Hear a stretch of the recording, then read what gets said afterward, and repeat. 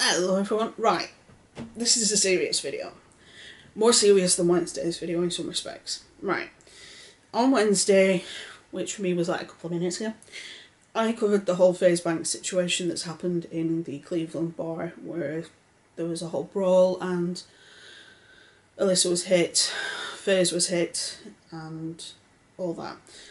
As I said in that video, I would definitely check out Phil's video on the situation because he covers it in much more detail than I can. Um, his video was 20 minutes long and he covered pretty much everything you could possibly think of. And he even shows the videos.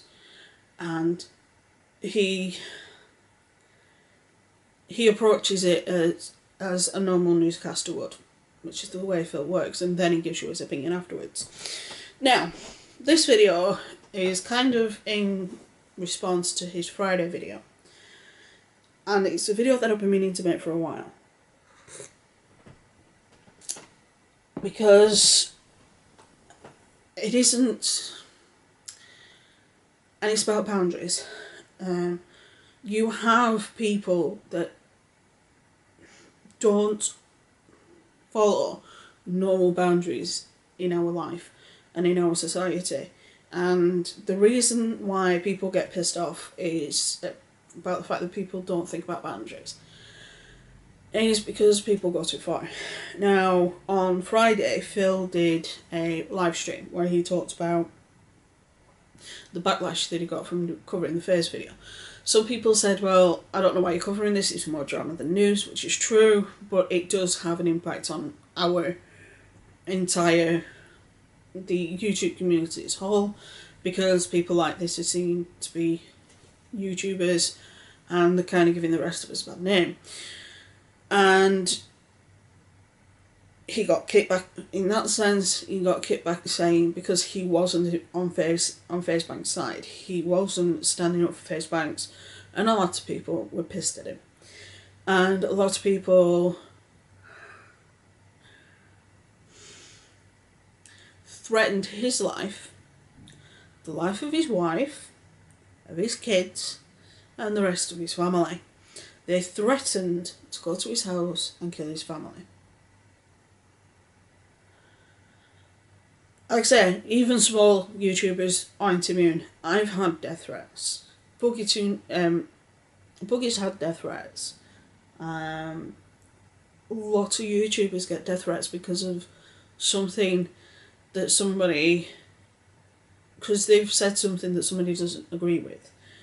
And to me, people need to start learning boundaries because you don't act like that. You don't respond like that to things like like this instance. You don't respond to hate to well you don't respond to criticism of your favourite YouTuber by threatening another YouTuber's life and his family's life. That is one element where boundaries, social boundaries, are being broken apart. Lots of people do think that YouTubers are more approachable than normal celebrities, which is true.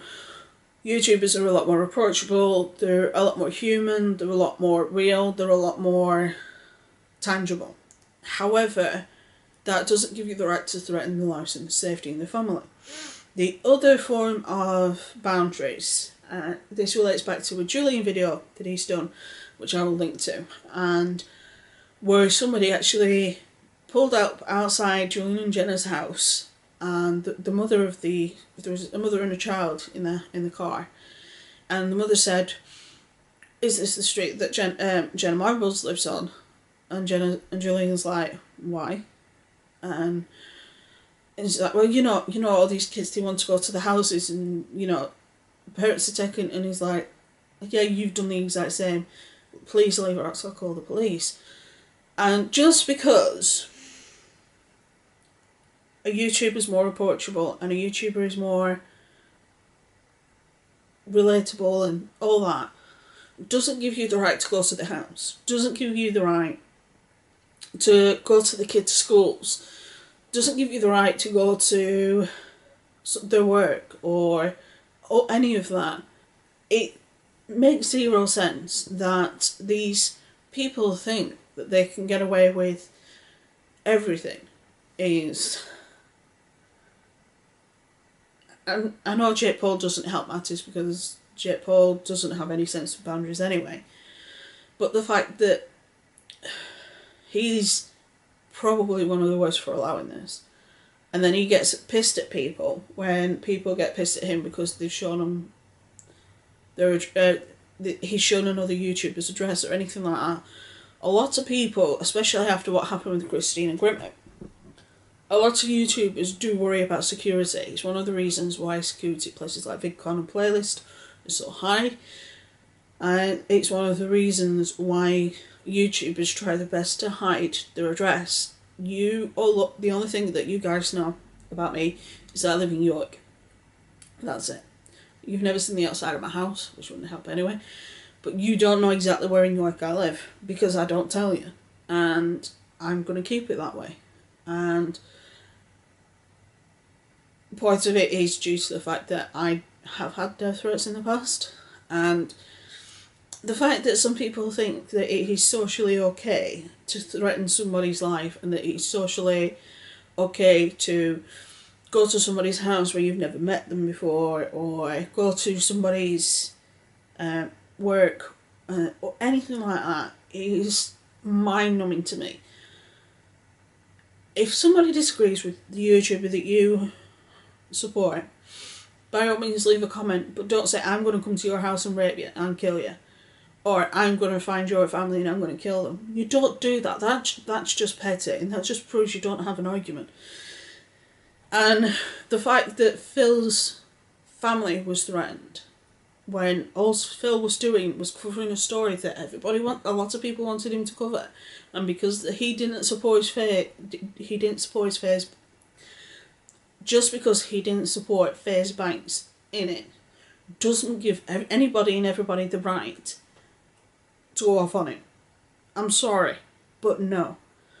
It's just like if you don't agree with Boogie's opinion on something, doesn't give you the right to go after him.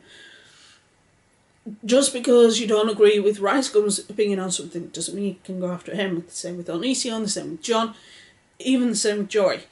And I have had situations in the past with um, people I know through the situations I've been involved in because of Joy and jo- John. Um, it's because of those situations I've been involved in with those two particular fan groups. I have had threats, and I've seen the way that some fans react just from you criticising their you, favourite YouTuber, and I think it's petty as fuck. And threatening somebody's life just proves you have no argument, that you don't know what you're on about. And to me, it makes little to no sense that if you don't have an argument on a particular topic, you just threaten somebody's life when that is absolutely, uncategorically not right. And it's illegal. And if I wanted to, the threats I've received, I could take them to police but I don't want to because the people who left the comments don't have a clue where I live. So, there you go.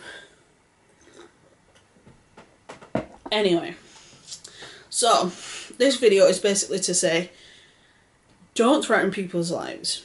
Don't show up for YouTubers' houses uninvited. Um, don't miss social cues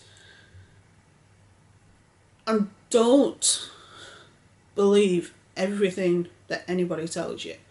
Research it. It's like the people who watch me, I say this in a lot of videos. If you don't, if you believe what I'm saying, that's great. But I wouldn't be offended if you then went and researched it. Because I'm all about giving you a bit of information, then you go out and finding the rest. And that's just the way I work. It's the way I've always worked. So, I'm recording this Monday, so you will see this Friday, but I'm going to probably live stream tonight, which is Monday night, and I'm going to live stream Thursday night as well. Um, after the hubby's gone to work and my mum's gone to bed. So, my mum is coming on Thursday, but unfortunately you won't see her because she's very, very camera shy. I'll see if I can get her on camera. I can't promise anything though, but she's just basically an older version of me. So I look very much like my mum. So, there you go. Anyway, stay safe, be good, have fun, be careful, and I'll see you later.